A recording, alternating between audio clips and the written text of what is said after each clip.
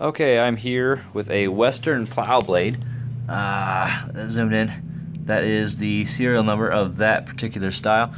Um, what I had experienced is that it wouldn't go left or right, or it only go one direction.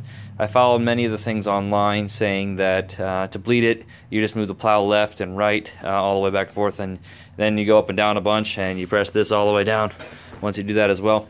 Uh, still couldn't get that to work, so what I ended up having to do is I actually took off the lines down here at the bottom for each of the bottom of the rams. There was a ton of moisture and sludge in it. Um, so yeah, take each one of those off and uh, you can freely move it. Just make sure you don't draw in the air when you move it from one side to the other. You have to move it all the way to the left, then you do one line at a time, move all the way to the right, do the other line. Um, anywho, so yeah, fill valve there, fill hole. Your fill, your overfill hole is right there.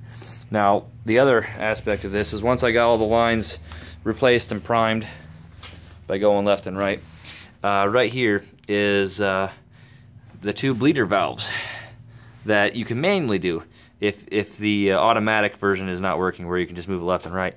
What you do is you push one side all the way in, you open up the valve for, the, for that side, and then you move it to the right. Do that until fluid squirts out. Sometimes uh, it'll squirt out quite a bit once you get all the air pushed out, but that's the most, that's the fastest way of getting the air out. Now it will work just fine.